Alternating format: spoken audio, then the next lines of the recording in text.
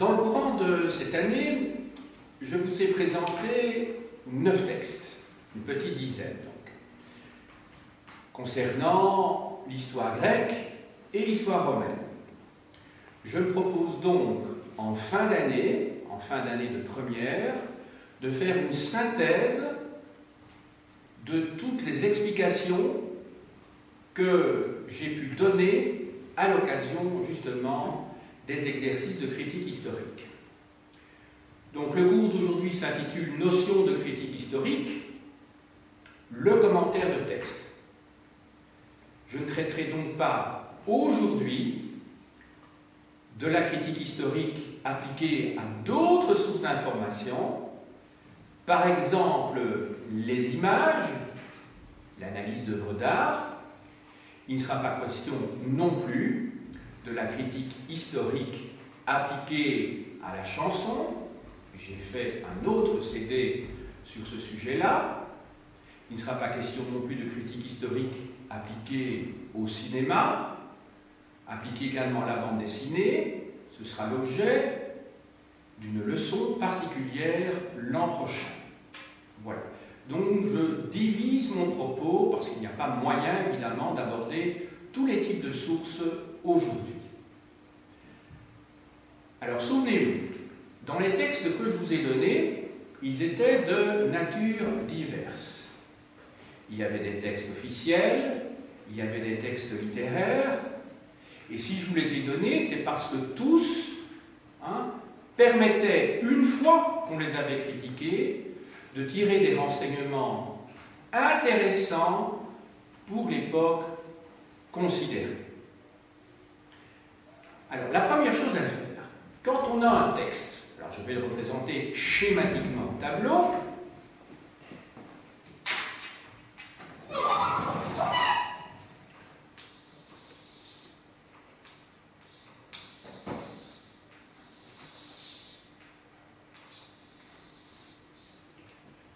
vous avez un certain nombre d'éléments. Alors, soyez toujours attentifs lorsque vous avez des élèves de première, deuxième, troisième, voire quatrième secondaire, d'attirer leur attention sur, tout d'abord, le titre. Ensuite, les références qui se trouvent en dessous du texte. Ensuite, il y a le texte lui-même.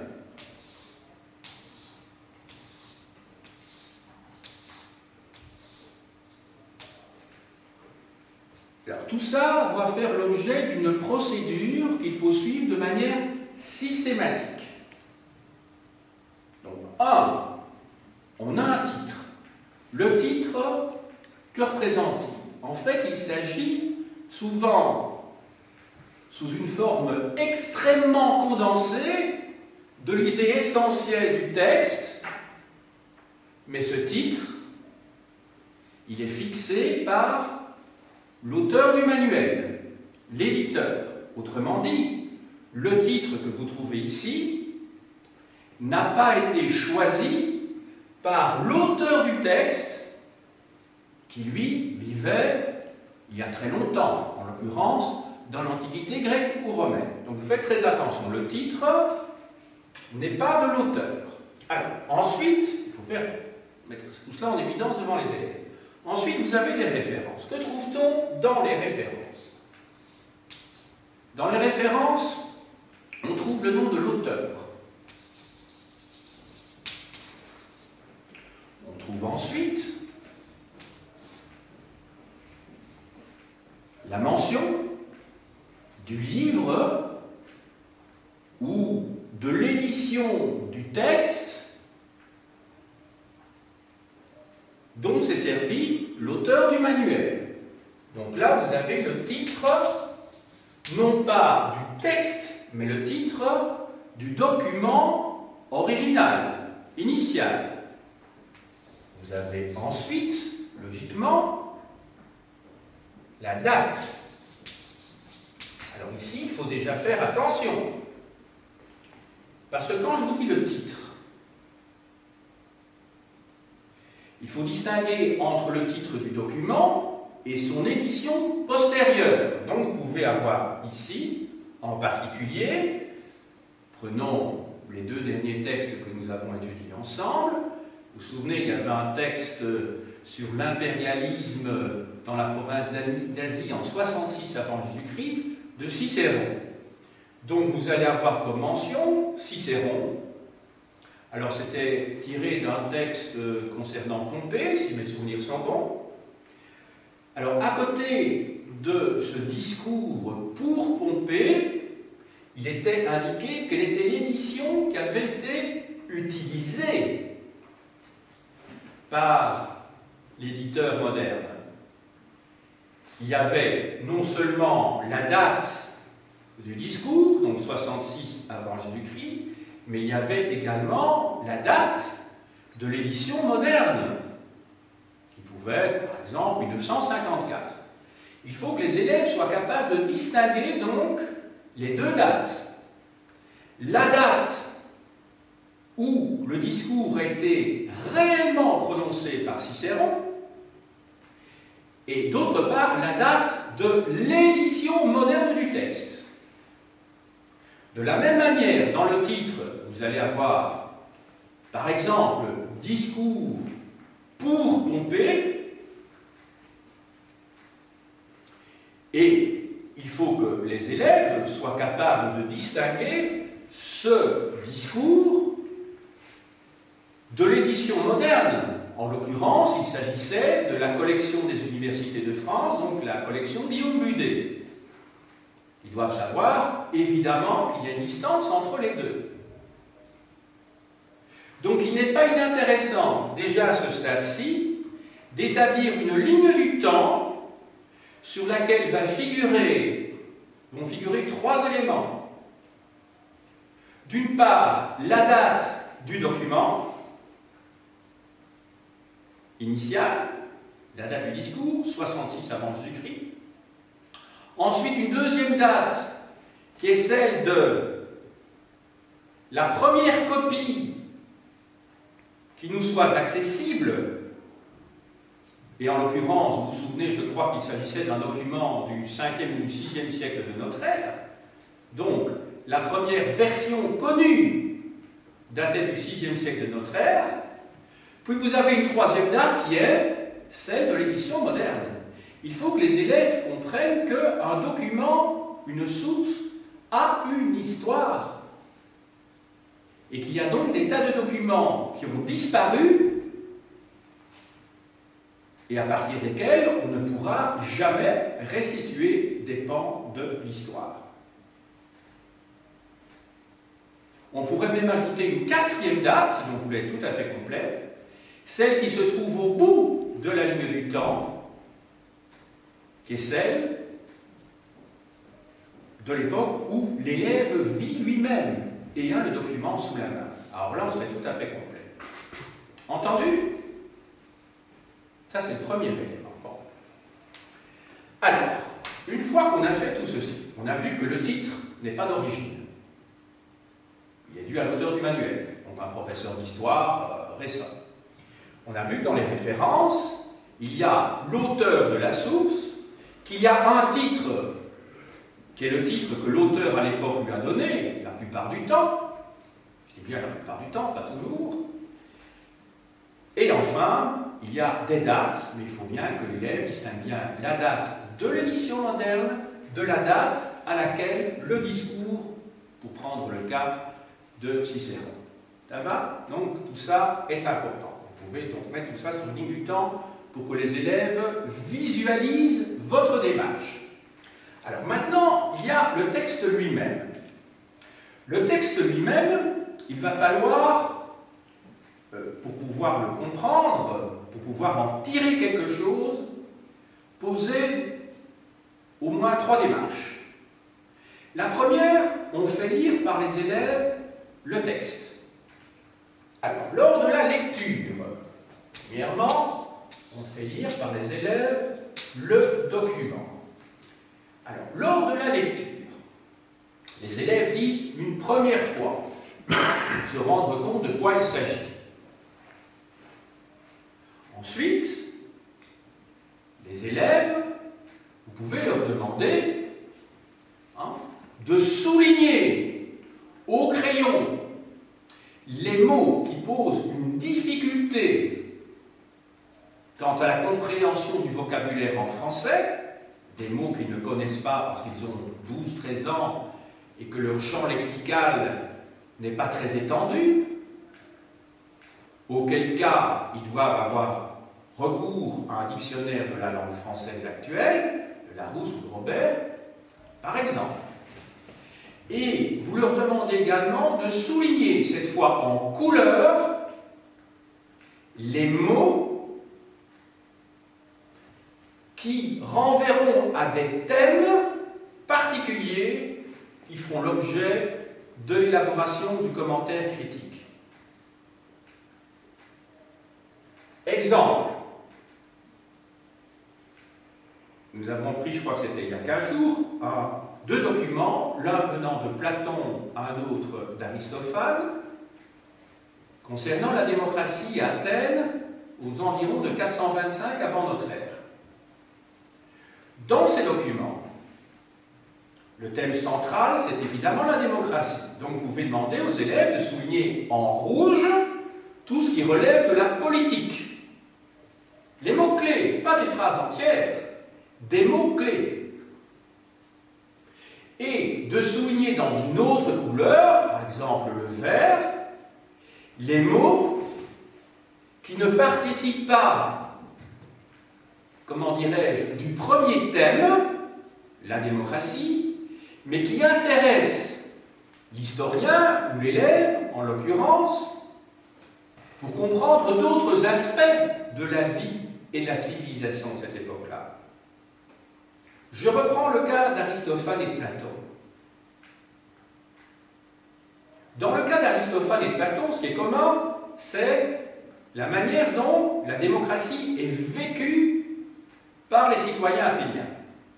Ça, c'est ce cas commun. vous soulignez, vous faites souligner en rouge. Et vous faites souligner en vert ce qui ne relève pas de la démocratie. Souvenez-vous, chez Platon, il y a tout ce qui concerne le monde des sophistes. Vous vous souvenez de cet intervenant qui est Protagoras, qui est un sophiste. Et chez Aristophane, vous faites souligner par l'élève, par les élèves, ce qui relève de la vie économique et sociale. Souviendrez peut-être que hein, le paysan, hein, n'arrête pas de rouspéter, parce qu'il dit que à la ville, on est dans un univers où tout est mercantile. Hein, on pense qu'à acheter et à vendre, à se faire des sous. Vous vous souvenez, il dit achète mon charbon, achète mon huile, achète mon vinaigre. Alors qu'à la campagne, on vit en autarcie et ce problème ne se pose pas de la même manière. On n'est pas dans une économie de marché. Eh bien, cela, vous le soulignez en vert. Un autre exemple que nous avons traité ensemble cette année-ci et qui ne relève pas de l'Antiquité classique gréco-romaine, c'était le fameux code d'Amourabi. Pour l'analyse du code d'Amourabi, je vous avais dit d'établir sur votre feuille, tracer quatre colonnes. Et il fallait ranger dans les quatre colonnes ce qui ressortissait d'une part de la religion, ce qui ressortissait ensuite de l'économie, enfin du social, enfin troisième du social, et quatrième, dans une quatrième colonne, tout ce qui relevait de l'environnement. Vous vous souvenez? Donc, autrement dit, c'est cela analyser. Analyser, c'est diviser un tout en plusieurs parties. C'est ce que l'on fait également euh, en physique, hein, analyser. La catalyse, on renvoie peut-être à quelque chose que vous connaissez. Donc, analyser, quand on dit hein, euh, que, euh, comment on appelle ça, pour ceux qui ont des problèmes de rein, quel est le mot qu'on utilise Dialyse. Une dialyse. Ben là aussi, on va diviser, hein, parce qu'il faut essayer et renouveler complètement, donc il va falloir diviser. Ça va donc la division est essentielle. Et dia, je vous dis ça dans mon cours de philosophie, vous savez que dia c'est à travers, hein, vous vous souvenez, la diarrhée. Ça va? Bon. Alors, donc vous voyez, un, on fait lire et on va utiliser des couleurs différentes en fonction de l'usage hein, euh, de ce que l'on veut poser comme questionnaire par la suite. Là, on utilise les dictionnaires de français. Ici, on va souligner les mots-clés qui vont participer à l'élaboration du questionnaire. Alors, la question, évidemment, qu'il faut poser avec les élèves, c'est que le texte qu'ils ont devant les yeux, il est en français. Mais est-ce bien la langue originale? Pensez bien que lorsque l'on fait, on travaille sur des textes de l'époque romaine ou grecque, c'est bien entendu du latin et du grec. Donc il y a le problème de l'identification de la langue. Et même, pour le grec, de l'écriture. Parce que vous savez que les latins, nous, nous sommes les héritiers immédiats de leur écriture, tandis que les grecs, hein, c'est pas très difficile, puisque l'écriture latine vient de l'écriture grecque, donc ça pose pas de problème, hein, c'est pas comme du chinois ou de l'arabe. Mais donc il y a également le problème de l'écriture. Alors si on veut également, à ce stade-ci, approfondir un petit peu les choses, on doit se poser le problème du support. Il faut que les élèves se rendent compte que ce qu'ils ont devant les yeux, c'est soit un manuel, soit une photocopie d'un document que vous leur distribuez, et qui vient d'ailleurs la plupart du temps d'un manuel ou d'Internet. Le support, il peut être multiple. Le support peut être un support dur, si je puis dire, qui relève de ce qu'on appelle l'épigraphie, c'est-à-dire l'étude des inscriptions. Lorsque vous avez de la pierre, lorsque vous avez du métal, voire du bois. Là, ce sont des inscriptions qui sont taillées dans un support dur. Vous pouvez également, lorsqu'il s'agit d'un texte assez long, pensez bien que là ça ne se grave pas sur une pierre, vous pouvez avoir trois supports. Le premier, c'est le papyrus. Le second, c'est le parchemin. Et le troisième, enfin, c'est le papier. Vous vous souvenez que le papyrus, on l'utilise en Égypte, on l'utilise également en Mésopotamie, en concurrence avec ces tablettes d'argile que l'on fait cuire. Le papyrus, on le trouve en Grèce, dans le monde hellénistique, on le trouve à Rome. Tenez-vous bien, on va le trouver au Moyen Âge jusqu'au 7e ou 8e siècle. C'est lorsqu'en fait l'islam va conquérir euh, la Méditerranée et le nord d'Afrique que le commerce du papyrus va fortement se réduire. Le papier, vous savez qu'il est originaire de Chine, les Arabes vont l'utiliser hein, à partir du 11e, 12e siècle, mais qu'il n'arrivera vraiment chez nous que dans la deuxième moitié du XIIIe siècle. Donc, ça n'aurait pas de sens hein, si vous n'avez pas expliqué préalablement aux élèves hein, à quel moment on utilise du parchemin, à quel moment on utilise du papyrus et à quel moment on utilise du papier, que l'élève ou que les élèves vous répondent, c'est du papier qu'on avait à l'origine, alors qu'on est à l'époque romaine. Il n'y avait pas de papier à l'époque des Romains. Le papier n'existait pas. Entendu? De la même manière, si on travaille sur, euh, je ne sais pas moi, un discours du général de Gaulle, il va de soi que si l'élève vous dit Ah, ben le document originel est en parchemin, un petit problème, vous êtes bien d'accord. Donc là, il faut que l'élève soit capable de distinguer les supports. Or, les supports, vous savez, sont importants. Pourquoi? Parce qu'ils sont liés à un type de conservation. Le papyrus ne peut se conserver que dans les régions sèches. Il faut un degré d'hygrométrie particulier. Autrement dit, le papyrus dans nos régions, si vous avez du papyrus qui date d'il y a 2000 ans, vous pouvez être sûr qu'il n'en reste rien du tout. Les papyrus qu'on a pu découvrir à notre époque, au siècle passé, ben, ce sont des papyri hein, que l'on a découvert en Égypte ou au Proche-Orient. Parce que là, ils ont pu se conserver. Dans la région avec l'humidité, le papyrus, les papyri de, l'Antiquité, ils ont complètement disparu. Entendu? Le parchemin, lui, est beaucoup plus solide. Hein, parce que le parchemin, comme vous savez, c'est essentiellement euh, de la peau de mouton, euh, la plupart du temps, ou de la chèvre, hein, parce que le bœuf, beaucoup plus cher. Hein, euh, ce sont des, peaux qui sont étirées, qui ont été épilées, tannées d'une certaine manière, de, telle manière qu'on puisse écrire sur le matérialisme. Mais ça coûte horriblement cher, d'où l'usage du papier à partir du XIVe siècle dans la région. Donc le problème du support, c'est un problème important. Une fois que l'on a résolu le problème de la langue originelle, son écriture, le problème du support, on va passer maintenant euh, à l'identification euh, de l'auteur. Alors, l'auteur, qui est-il? Il y a plusieurs hypothèses qui peuvent être formulées. Soit il s'agit d'un auteur qui est nommément cité dans la référence en dessous du texte. Et là, il n'y a pas de problème. On dit Platon, Aristophane. Dans ce cas-là, que faut-il faire? Eh bien, il suffit de prendre un dictionnaire. Alors, si vous êtes avec des, jeunes élèves extra-d'auteurs connus, vous pouvez prendre la partie du dictionnaire du Larousse ou du Robert qui se trouve après les pages roses. C'est là que se trouvent les noms propres. Je ne vous apprends rien.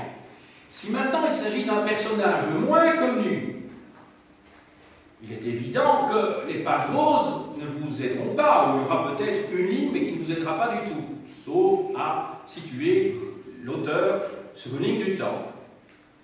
Dans ce cas-là, vous avez recours à un dictionnaire que je vous ai déjà montré, qui est le dictionnaire de Michel Moore, Dictionnaire d'histoire universelle, qui se trouve en deux exemplaires, en deux tomes dans ce local-ci, et qui existe dans une édition beaucoup plus complète, en dix volumes à la bibliothèque de l'école.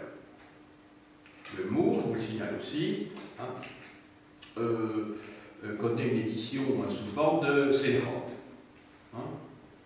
voilà.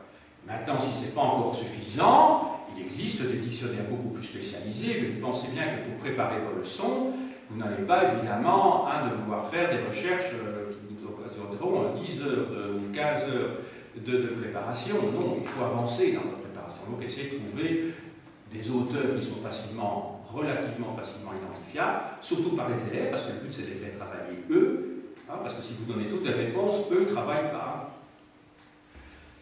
Alors, ensuite, deuxième hypothèse, l'auteur n'est pas un auteur, mais c'est un ensemble, c'est un groupe de personnes. Alors dans ce cas-là, il faut essayer de bien identifier toutes les personnes, tout le groupe social ou le groupe politique dont il est question ici. Enfin, troisième hypothèse, il s'agit d'un texte anonyme. Alors là, ça pose plus de problème, mais il faut en toute hypothèse essayer de dater le document, parce que ce sera plus difficile si vous n'avez pas de nom d'auteur. Voilà. Alors, on va passer troisièmement à l'analyse du document. Alors, comment fait-on une analyse? La première chose, évidemment, c'est que, à partir de ce qui aurait été souligné en rouge ou en vert, il va falloir, à partir de la compréhension du texte, il va falloir essayer de dégager les idées les plus importantes qui se trouvent dans les textes, dans le texte, pour les organiser organiser les idées, pour savoir comment elles s'articulent les unes aux autres. Quand je dis les idées, ça peut être les thèmes, ça peut être les événements. Hein, bien entendu, les événements, enfin ceux qui se trouvent dans le texte. Ensuite, élément suivant, il va falloir identifier et cet, élément-là, souvent se trouve, euh, comment dirais-je, traité en même temps que l'organisation, voire préalablement, identifier tous les termes techniques, tous les personnages, toutes les allusions du texte.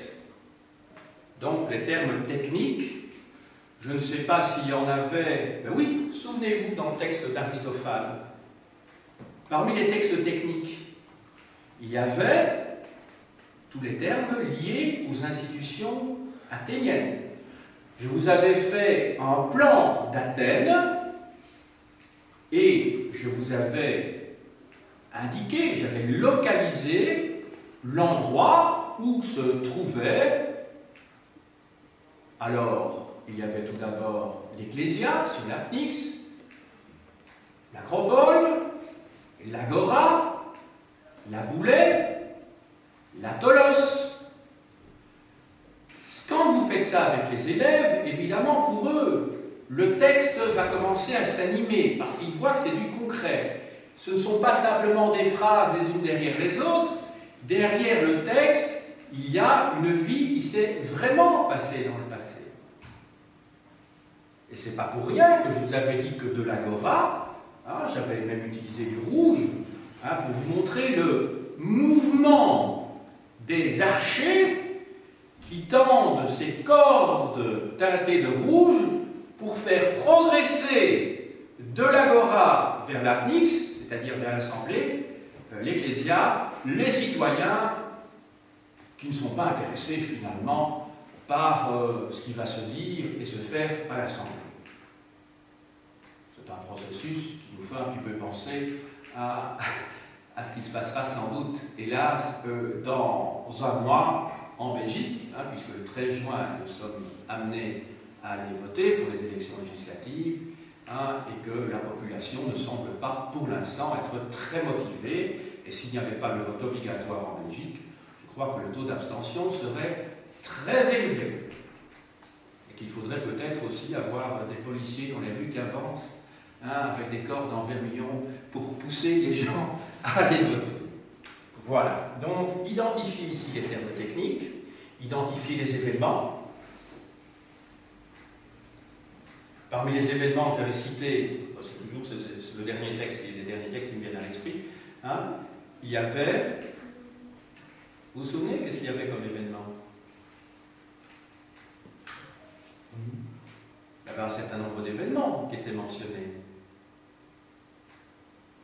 qui permettaient qui permettait justement de dater le document. C'était une réunion chez Callias, donc on pouvait dater le document de plus ou moins cette période-là. Hein. Callias, on sait qui c'est. On voit d'autre part que ce sont les deux fils de Périclès qui vont suivre les cours de Protagoras, si mes souvenirs sont bons. Et tous ces éléments-là permettaient justement de dater le document. Il était question de Périclès. Comme Périclès meurt en 421 de la peste à Athènes, Hein, vous vous souvenez, pendant la guerre du Péloponnèse, eh bien, tous ces éléments-là pouvaient être rassemblés et permettaient de dater le document. Donc, il fallait identifier des institutions, dater des personnages, dater, euh, identifier euh, des termes techniques. Voilà. On avance un petit peu et on va passer maintenant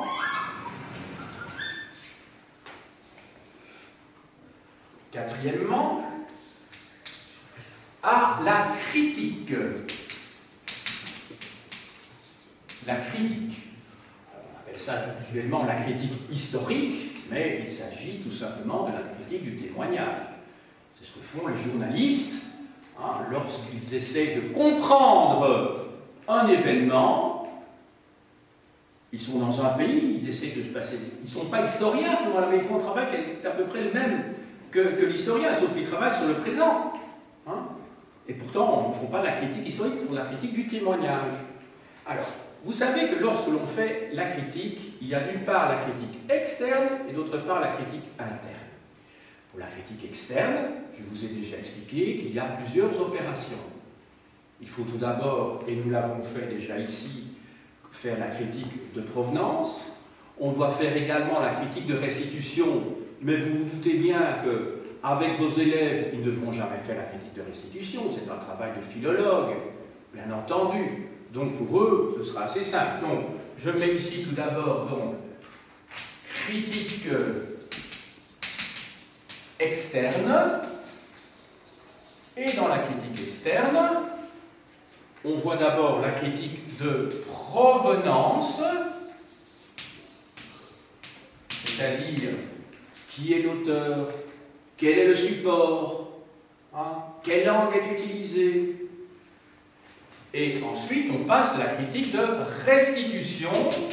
Toutefois, même si les élèves n'ont pas les outils pour pouvoir travailler sur les documents originaux, bien entendu, ils n'ont pas fait de paléographie, ils n'ont pas fait d'épigraphie, ils n'ont pas fait de diplomatique, enfin toutes des choses que je vous ai expliquées ou que je vous expliquerai dans les années qui viennent, ils pourront remarquer que le texte peut avoir été retravaillé éventuellement, qu'il y a des lacunes dans le texte, des parties qui n'ont pas pu être déchiffrées ou tout simplement des parties qui ont disparu, parce que vous avez un parchemin ou un papyrus, il peut y avoir des trous dans le papyrus et dans le parchemin.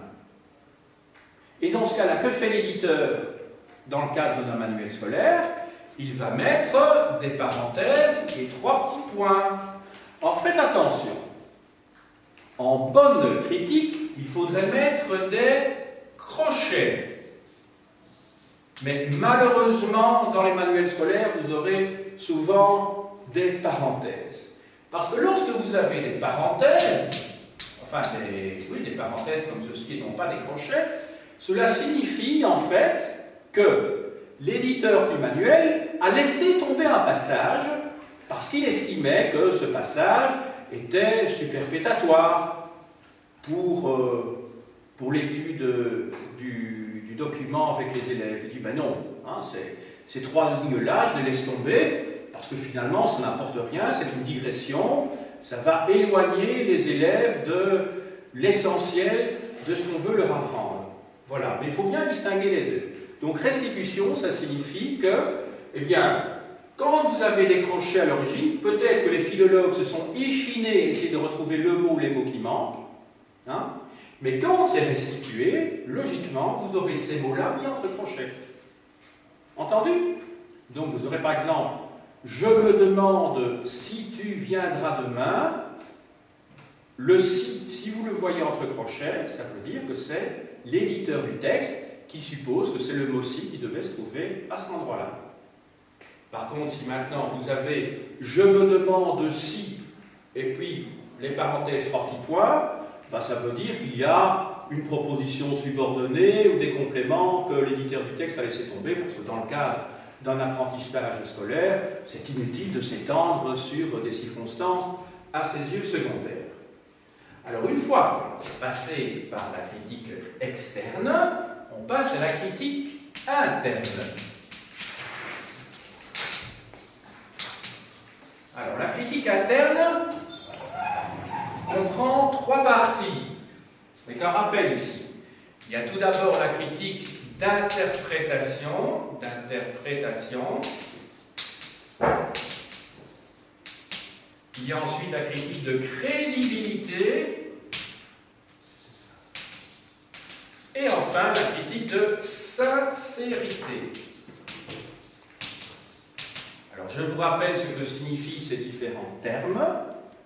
La critique d'interprétation, c'est tout simplement, enfin tout simplement, c'est vite dit, mais comprendre ce que l'auteur a voulu dire à son époque. Alors, ça paraît secondaire, hein, mais s'il vous plaît, notez-le je dis bien à son époque. Faire de l'histoire, c'est comprendre ce qu'il y avait dans la tête des gens à leur époque. Ici, quel est le grand péché à ne pas commettre? C'est l'anachronisme. Il y a 2500 ans, ça paraît évident, mais les gens ne pensaient pas comme nous. Donc il ne faut pas projeter nos réalités, ce que nous vivons à notre époque, sur une réalité qui était tout à fait autre. La notion de distance et la notion d'altérité, cette perception de l'altérité est essentielle pour euh, faire de bons historiens. Ensuite, ou plutôt préalablement, quand je dis interprétation, il ne faut pas se tromper, parce qu'un mot peut avoir plusieurs sens. Il suffit de regarder un dictionnaire de la langue française maintenant, et vous allez voir en prenant un petit Robert, hein, dans le dictionnaire alphabétique et analogique de la langue française hein, de Paul Robert. Vous allez voir que pour un mot, vous allez voir qu'il y a 5 ou 6 sens différents. Petit 1, petit 2, petit 3. Et peut-être que dans le petit 3, il y aura deux, deux sous-cas euh, qui se présenteront. Donc il faut voir bien choisir. Donc avec vos élèves, vous pensez bien quand ils ont 12, 13, 14 ans, il faut attirer sur leur, attention sur le fait qu'ils ne doivent pas prendre d'office la première définition qui intervient. Parce que pouvez leur dire, mais regarde petit peu la troisième. Est-ce que ça collerait peut-être pas davantage pour nous aider à comprendre le texte? C'est cela qu'il faut faire. Bon, on passe ensuite à la crédibilité. Alors là, on confond souvent la notion de crédibilité avec la notion de sincérité. Être crédible, cela signifie que l'on peut être cru parce que l'on a une compétence dans la matière. Alors cette compétence, elle peut être diverse. Première compétence, vous êtes cru parce que vous disposez d'un sens qui vous permet d'être cru. Si quelqu'un qui est aveugle dit il est passé de gauche à droite, ben, face à quelqu'un qui lui est voyant, comme on dit maintenant, parce qu'on utilise des euphémismes, hein, on dit plus aveugle, on dit non-voyant, on dit plus sourd, on dit malentendant, hein, vous connaissez l'expression. Hein. Bon, alors, c'est ce qu'on appelle le politiquement correct. Donc, si un aveugle vous dit non, je l'ai entendu courir de gauche à droite, alors, Effectivement, il a entendu. Peut-être qu'il a une oreille très fine parce qu'il est aveugle. Parce que vous savez que quand on a un sens qui fonctionne moins bien que les autres, parfois les autres ont tendance à être hypertrophiés ils ont été exercés davantage. Il y a quelqu'un qui est à côté hein, qui dit Mais non, il courait dans l'autre direction. Le problème du policier qui va écouter le témoignage sera évidemment de peser le crédit que l'on peut accorder à un témoignage ou à un autre. Dans le cas de la critique de crédibilité, on ne doute pas a priori de la sincérité des gens, c'est uniquement leur compétence. Vous avez quelqu'un euh, qui euh, meurt, il y a deux personnes qui sont en proximité, un médecin et quelqu'un qui n'a aucune connaissance médicale. L'un va dire, il est mort, il était mort à ce moment-là. Le médecin dit, non, il, était, il est mort plus tard, il était mort déjà avant. Lui, il a une compétence. Entendu? Alors, Donc ça peut être la compétence qui est liée ben, au type d'études que l'on a fait, à l'expérience que chaque personne peut avoir. Je vous ai parlé des sens tout à l'heure. Il y a un deuxième élément lié à la crédibilité, qui est aussi une forme de compétence, c'est savoir si le témoin a vu les événements ou ne les a pas vus, s'il les a entendus ou ne les a pas entendus, s'il est contemporain des faits ou pas. Donc la contemporanéité est essentielle. Contemporanéité. Ça va? Quand vous avez deux documents devant les yeux, celui d'un chroniqueur qui a vu la prise de Jérusalem, un musulman qui l'a vu. Et puis vous avez un autre document qui est celui d'un chroniqueur chrétien qui a vécu 100 ans plus tard ou 50 ans plus tard. Vous vous rendez bien compte que ce n'est pas si simple que cela à faire le partage. Parce qu'il y a au moins deux éléments qui interviennent a priori, on dirait l'un était présent, donc c'est celui-là que l'on va a priori écouter, entendre. Il l'a vu de ses yeux vus. L'autre, il vient plus tard, donc il n'a pas été contemporain. Donc dans ce cas-là, il faut savoir quelles sont les sources du second. Or, le second a peut-être d'excellentes sources qu'il a recopiées, donc il ne faut pas le rejeter a priori. Maintenant, l'un musulman, l'autre est chrétien. Ce sont des chrétiens qui ont pris une ville musulmane. Turque, dix ans avant la prise de Jérusalem, elle était arabe. Donc le problème est de savoir, l'un le vaincu appartient au camp des vaincus, l'autre appartient au camp des vainqueurs.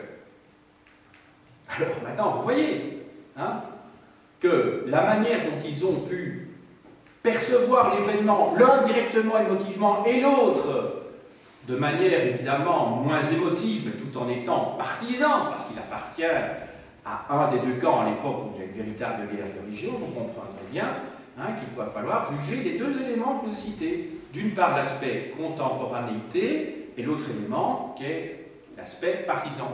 En, en, tenant bien compte du fait, en imaginant bien que l'un et l'autre sont sincères. Alors, la sincérité, ce n'est pas la crédibilité.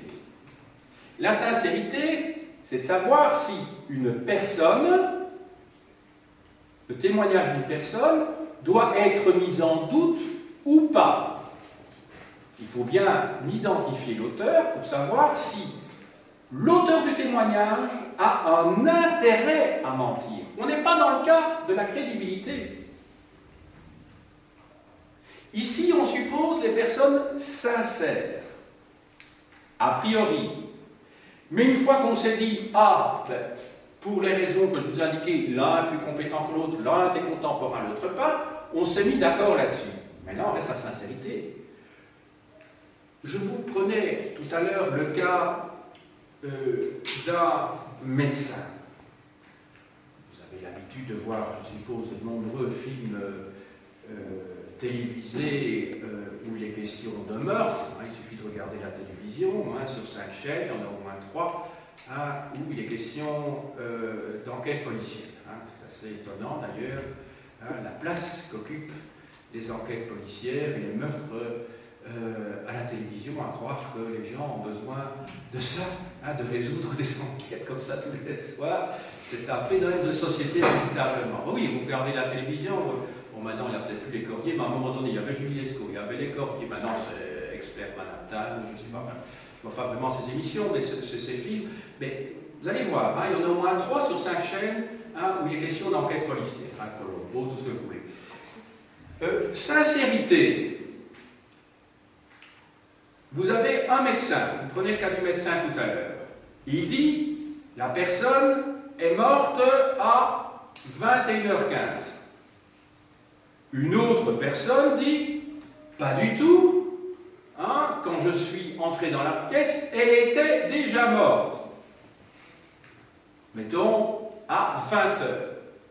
Alors, a priori, du point de vue du crédit, de la crédibilité, on va suivre le médecin, parce qu'il a la compétence. Parce que lui peut se rendre compte vraiment si la personne est morte ou n'est pas morte. Mais, si le médecin est impliqué dans la relation avec la personne décédée, si lui-même est le meurtrier. Vous voyez que ce n'est plus un problème de crédibilité, c'est un problème de sincérité. Donc quelqu'un qui est naïf va peut-être l'emporter par son témoignage, justement parce qu'il est extérieur à l'épisode considéré, alors que le médecin qui est directement lié à l'assassinat, lui, son témoignage va être rejeté, entendons-nous bien, il va être rejeté par l'historien, je dirais, pour établir la réalité des faits. Mais il est évident que son témoignage est essentiel parce qu'on va se demander, mais pourquoi a-t-il menti? Et le pourquoi a-t-il menti est très instructif. Entendu? Voilà, donc vous avez bien compris quelles sont les étapes hein, qui doivent apparaître lorsque vous étudiez un document avec un élève, avec vos élèves. Je crois n'avoir rien oublié d'essentiel. J'aurais pu évidemment rentrer dans beaucoup plus de détails, mais ici, il s'agissait de faire une synthèse hein, euh, de l'analyse d'un document, du commentaire de texte avec des élèves de l'enseignement secondaire. Étant entendu qu'un historien, quand il travaille, euh, il fait les choses de manière beaucoup plus approfondie, mais les, grands principes restent les mêmes de toute façon. Simplement, lui, il va venir avec des techniques. Euh, assez sophistiqué dans le domaine de la paléographie, vérifier si ce document-là n'est pas une copie d'après le type d'écriture, parce que l'écriture changeait suivant les époques, parce qu'il y avait des types d'écriture suivant les écoles où l'on apprenait à écrire, par exemple. Il va peut-être regarder le document avec des appareils un peu sophistiqués pour voir si on n'a pas barré ou gratté certains mots et on n'a pas réécrit euh, d'autres mots, c'est-à-dire ceux qui dérangeaient, euh, la diplomatique, eh ben là, elle étudiera par exemple les sceaux, hein, qui sont apposés justement en bas des documents, en bas des parchemins. On pourra voir, euh, étudier l'authenticité du document, etc. Il y a peut-être un élément sur lequel j'aurais peut-être pu insister, même si je l'ai fait dans le courant d'année, c'est que dans les compétences que vous devez faire exercer par les élèves, il y en a une quand même, je n'ai fait que qu'effleurer le, sujet tout à l'heure, c'est celui de la nature du document. Hein? la nature du document. Je vous ai dit tout à l'heure, il peut s'agir d'un document officiel, il peut s'agir d'une source littéraire, hein, entre autres choses, ça peut être une source logique, mais enfin ici on a pris uniquement évidemment des documents écrits, et il est évident qu'une des premières choses que fera l'historien, mais ça l'élève, lui, ne pourra pas le faire, c'est de vérifier l'authenticité du document. Alors ça, je tiens à ce que vous le notiez, parce que là, c'est nouveau en termes que, comment dirais-je, dont le concept est mal compris par la plus grande partie des gens, c'est que l'authenticité du document est liée à une marque liée à l'autorité publique. Quand le, document peut être considéré comme authentique, s'il respecte un certain nombre de procédures. Un document qui émane d'une maison communale en Belgique, eh sera considéré comme authentique à partir du moment où il y aura le cachet du fonctionnaire communal. Il ne faut donc en aucun cas confondre l'authenticité et la véracité. La véracité porte sur le contenu, l'authenticité porte sur la forme. On peut avoir un document authentique qui soit faux. La notion d'authenticité, c'est une notion juridique qui est liée à des marques reconnues publiquement en droit donc ça émane d'une autorité publique. Un document authentique, je vous l'ai dit, peut être faux. Vous pouvez imaginer une autorité publique hein, qui fasse un faux document pour justifier une situation acquise ou a posteriori. Maintenant, vous pouvez avoir un document vrai qui ne soit pas authentique dans la mesure où il émane d'une personne privée, tout simplement. S'il vous plaît, donc, Apprenez donc à vos élèves à faire la distinction entre les deux, sauf que dans les documents que vous aurez, vous, à leur présenter, mais eux n'auront peut-être certainement pas les outils qui leur permettront de savoir si le document est authentique ou pas. il faut avoir le document devant les yeux, il faut euh, euh, avoir les marques euh, d'authenticité qui se trouvent devant vous, par exemple un ruban avec un sceau ou une bulle. Vous savez peut-être que les bulles, c'était les sceaux de l'empereur et du pape on parle toujours d'une bulle pontificale. La bulle pontificale, c'est l'équivalent donc du sceau. Hein, la bulle représentant le monde, la planète.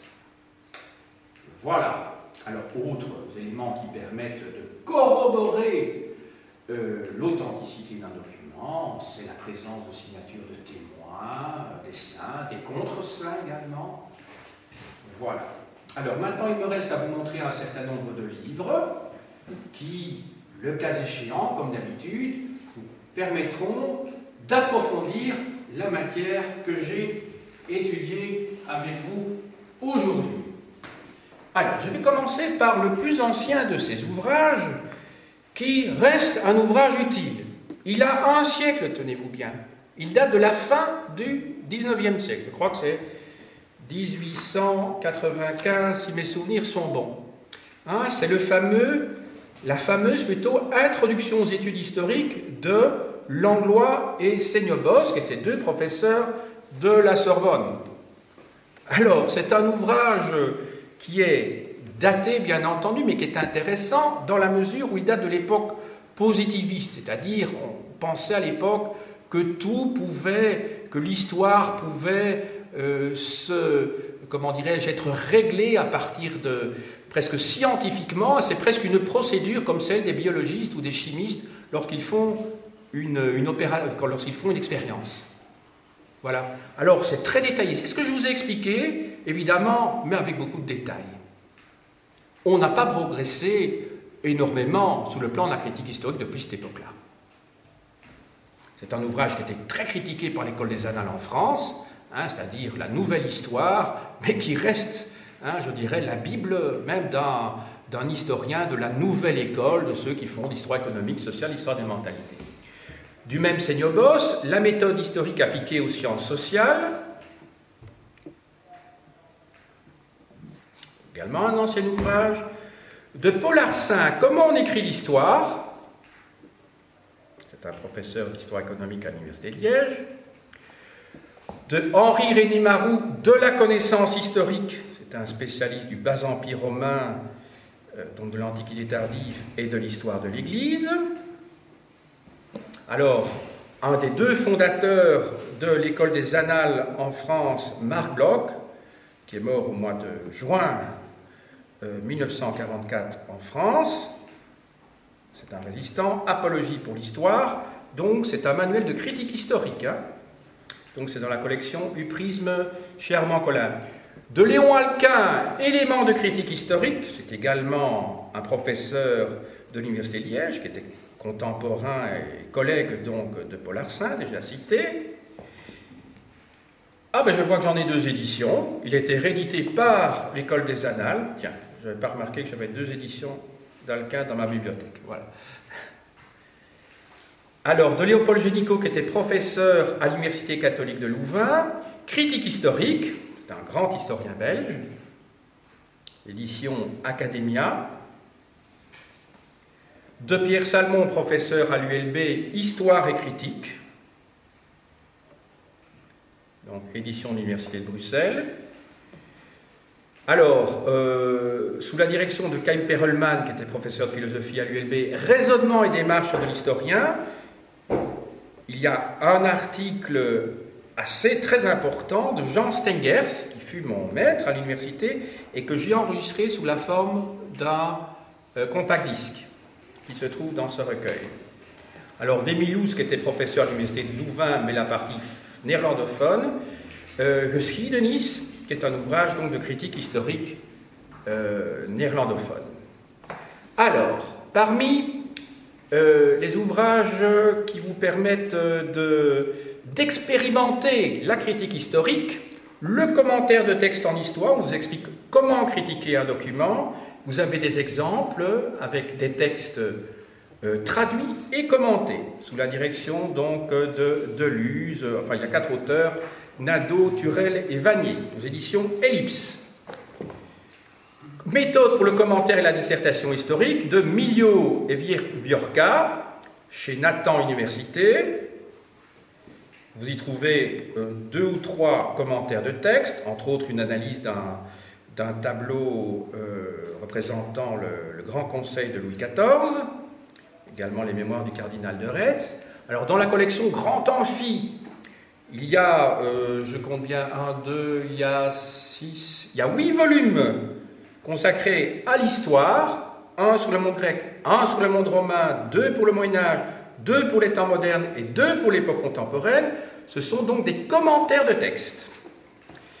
Dans le Proche-Orient médiéval euh, de Dusselier, Kaplan et Martin, vous avez au début de ce livre deux analyses de documents une analyse d'un document byzantin, une analyse d'un document euh, arabe. Alors, d'un vieux professeur, enfin, professeur qui est mort en 1965, je crois, euh, de l'Université de Bruxelles, Paul Bonenfant, qui avait écrit avec Huic et Vernier trois volumes, c'est un trois recueils de textes sur l'histoire de Belgique, avec chaque fois une analyse qui précède. Alors, dans la collection U chez Collin, il y a trois volumes qui s'intitulent L'Europe au Moyen Âge, sous la direction de, de la Roncière et de l'Or, et Rouche également. Et ce sont donc des documents que vous avez, en tout cas pour le Haut Moyen Âge, en latin, ou en langue originale en tout cas, traduits et commentés ensuite. De Berlioz, toujours sur l'époque médiévale, le commentaire de documents d'histoire médiévale au seuil. Alors, l'Académie royale de Belgique a publié des instructions pour la publication des textes historiques où on vous explique ce que j'ai expliqué tout à l'heure pour la critique de restitution. Alors, quand vous analysez un document, n'oubliez pas qu'il faut peut-être avoir quelques notions justement des langues anciennes. Pour le Moyen Âge, je vous signale de Joseph Anglade Armand Collin la grammaire élémentaire de l'ancien français. Pour le néerlandais du Moyen Âge de Van Loo chez Aubier, Introduction à l'étude du moyen néerlandais. Alors, pour le français médiéval, vous avez également le dictionnaire étymologique de la langue française de Bloch et von Warburg, qui est un résumé d'un ouvrage monumental. Pour les termes techniques cette fois, je vous rappelle le lexique historique du Moyen Âge de René Fédou et le lexique historique de la France d'Ancien Régime chez Armand Collin. Et enfin, pour localiser euh, les différents euh, euh, lieux qui apparaîtraient dans un texte, je vous conseille, même si c'est un ouvrage en allemand, de Putzger Historischer Weltatlas. Voilà, où vous avez des cartes, vraiment très, alors là, très détaillées, hein, qui sont plus beaucoup plus détaillées que celles que vous pouvez trouver dans votre atlas. Hein, ce sont des, cartes vraiment euh, euh, faites très minutieusement pour euh, connaître les principautés allemandes au Moyen Âge, etc. J'ai dit